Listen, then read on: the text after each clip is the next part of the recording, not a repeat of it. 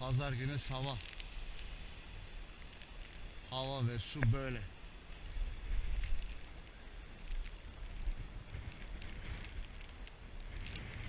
Böyle sularda rapalı atıyorsam 220 gerekirse 240 gram kurşun kullanmak istediğimde hemen devreye makaraya çıkar. Çünkü 240 gram dahil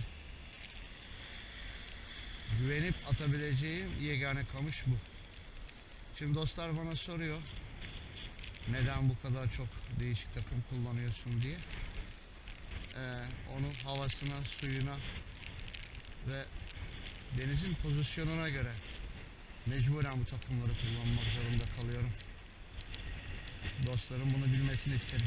Gerçi yanıma gelen arkadaşların hepsine izah ediyorum ama gene de hani bana ulaşamayanlar için ama soru sorup ya da aklında bu sorular olanlar için evet mecburen biraz fazla takım kullanıyorum dostlar.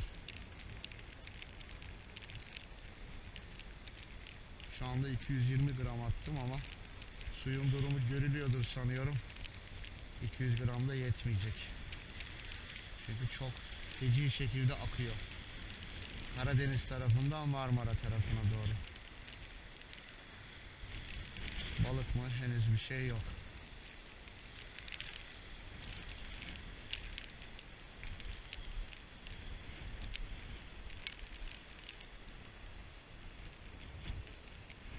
Dostlara selam ve sevgilerimle. Gel gel gel gel.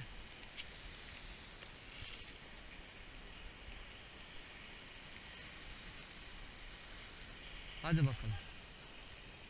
Rızkı veren Allah'tır. Bak sizin rızkınızı da bugün benim elimle yolladı size. Hadi güzel güzel doyurun karnımızı.